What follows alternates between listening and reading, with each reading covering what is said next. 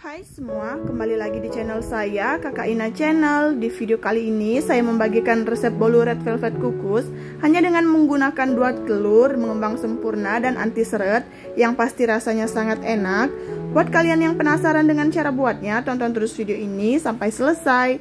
Sebelum kita lanjut ke cara membuat, jangan lupa klik tombol subscribe dan aktifkan lonceng notifikasinya agar kalian tidak ketinggalan resep-resep terbaru dari Kakak Ina.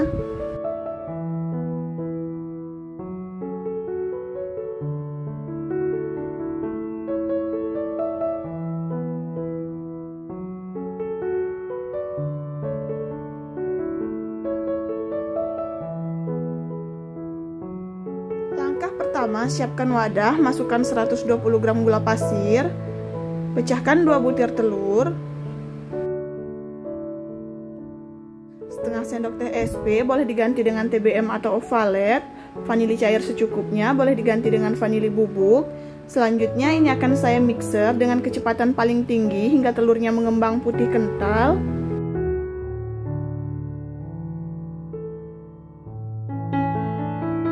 Jika telurnya sudah mengembang putih kental seperti ini, ini sudah cukup. Kita matikan mixer. Selanjutnya tambahkan 120 gram tepung terigu, setengah sendok teh baking powder, 100 ml minyak goreng,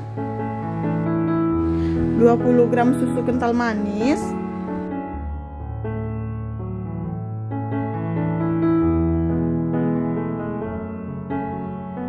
Terakhir tambahkan pasta red velvet secukupnya. Selanjutnya ini akan saya campur rata menggunakan mixer dengan kecepatan paling rendah asal tercampur merata saja.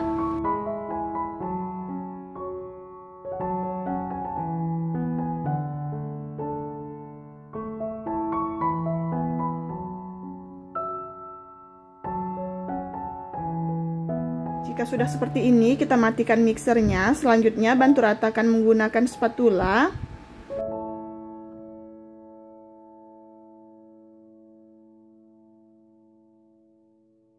Seperti ini sudah, ini siap untuk kita kukus. Kemudian siapkan loyang. Di sini loyangnya sudah saya oles tipis menggunakan karlo. Kemudian kita tuang semua adonan bolunya.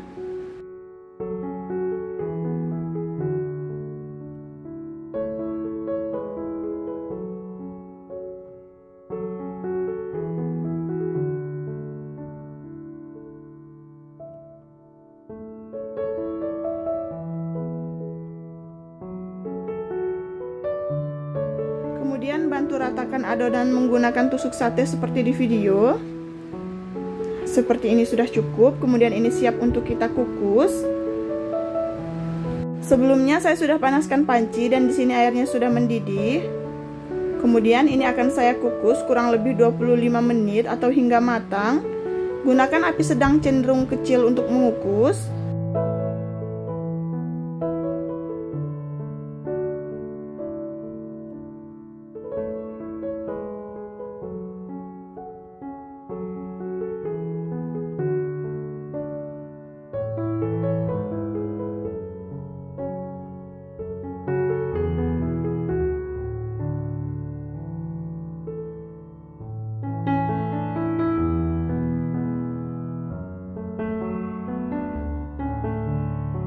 Setelah 25 menit ini kue bolunya sudah matang, kita matikan api kompor. Selanjutnya ini langsung kita angkat.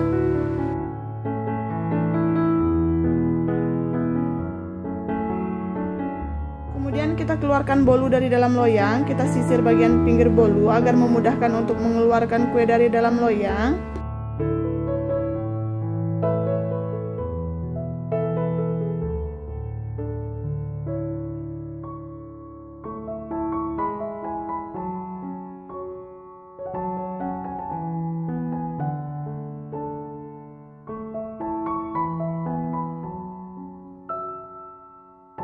Seperti ini hasilnya, sangat cantik. Selanjutnya ini kita potong-potong sesuai selera.